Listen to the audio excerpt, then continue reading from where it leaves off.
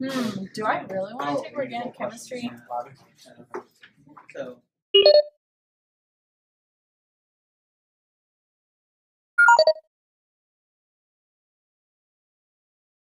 First thought when you hear organic chemistry. It's the hardest class I've ever taken. I have absolutely no idea what organic chemistry is, and I'm glad I'm never going to have to worry about it. I think about organic chemistry. I realize I know nothing about that, but it seems like a great place to look for a future husband. When I think of organic chemistry, I think organic chemistry is kind of difficult. In fact, those who struggle with it tend to have all kinds of problems.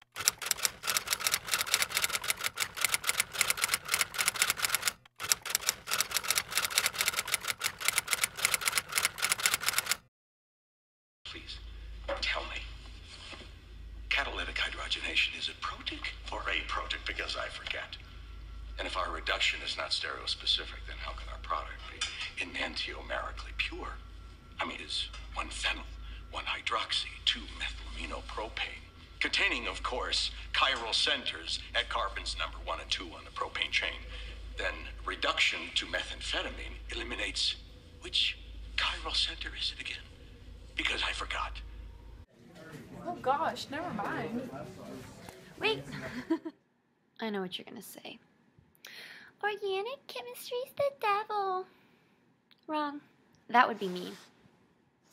It's brutal. It'll make your life miserable in ways that I can't.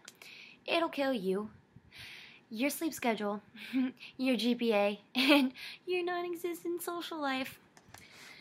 But down in my circles, we've kind of been calling it the pharmaceutical guardian angel. When you get right down to it, it's basically the cure for college. You got a nasty hangover? No worries, just pop a Tylenol.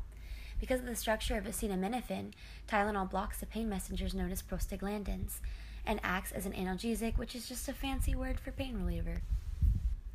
Orgo got you feeling low? Pop a Prozac. Because of a trifluoromethyl substituent, they block the reuptake of 5-hydroxyltryptamine, better known as serotonin, like a champ.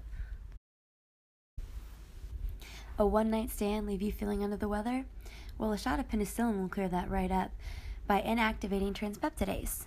This occurs because transpeptidase is a nucleophile and penicillin is an electrophile. When the carbon on penicillin undergoes nucleophilic attack by the transpeptidase, a bond is formed and transpeptidase is inactivated. Without active transpeptidase, peptidoglycan cannot be synthesized, and therefore the cell wall will not be synthesized either. This leaves bacteria to undergo cell death. Grignard came up with a reaction where an alkyl or vinyl group is added to the carbonyl group of a ketone.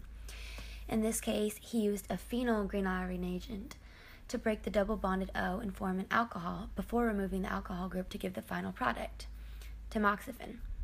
Tamoxifen is a drug that treats breast cancer when oxidized in the body, allowing for bondage to breast estrogen. Not only does organic chemistry act as a cure for college students, it's actually treating cancer.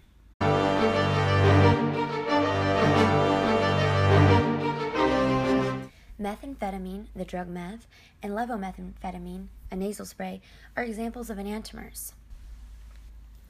Due to stereochemistry, when synthesizing either drug, you will receive a racemic product, meaning both drugs are present, one slightly more than the other. In the past, stereochemistry and racemic mixtures have been responsible for tragedy. One such instance of tragedy stemmed from the usage of the drug thalidomide. R thalidomide was successfully used to treat morning sickness in pregnant women. However, S thalidomide was proven to cause severe birth defects. The drug was taken off the market because whenever R thalidomide was introduced to the body, inevitably some of it would convert back to S thalidomide. And at this point in time, scientists had no way to prevent racemic mixtures. To overcome the stereochemical problem, these three Nobel Prize laureates contributed to the creation of a catalytic asymmetric synthesis method. This method guarantees a non racemic product and this method led to the creation of several medications which would have otherwise been unsafe for human usage.